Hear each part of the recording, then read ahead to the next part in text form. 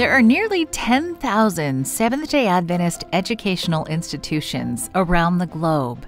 In Ghana, Valley View University is the height of Adventist education. It sits just outside of Ghana's capital city, Accra. And we were the first to be chartered as a, a, a private university in this country. So we are proud. And this is the only church, the church institution of higher learning in Ghana. From one small theology department in the 1980s, Valley View University now runs 43 academic programs from associate degrees to doctorate level. It started with only 16 students, and now over 10,000 students attend, coming from more than 25 countries. Jinad is a student in the theology department who didn't come from an Adventist background. I'm a theology student here, level 400, second semester, a student chaplain. I enjoy the fact that I am able to be part of people's life, contribute to, uh, to people's life. Service to humanity on campus. When Jinad was growing up, he felt that his family was never at peace with their religious practices. My dad was a philosopher and a politician, and the fact was that he was searching for God. And that is a family in which I came from. It started from African traditional religion, you know, and dabbled into spiritism.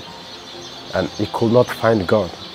He could say that there is a depth inside him that is yearning to know God, but he could not find it in African traditional religion. Jinad was impacted by his father's search for God. He later became a Christian in secondary school through an evangelist who visited his campus. Now, the student chaplain at Valley View University, his desire is to share Jesus and worship together with other students. Their struggle is that the university does not have a church large enough to accommodate the thousands of students.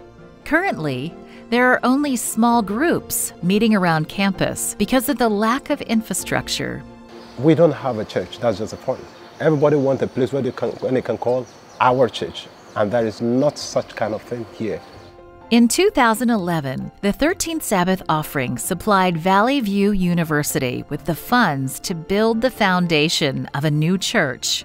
This church will be large enough for 3,500 students to worship together. Although the building is not fully completed, they will soon hold their first church service together.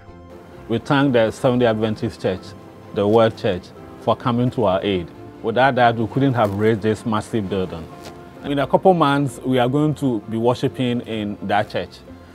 For the first time in many years, Jinad and the university students will worship all together thanks to your contribution to the 13th Sabbath offering. Please pray for Valley View University and future 13th Sabbath offering projects around the world.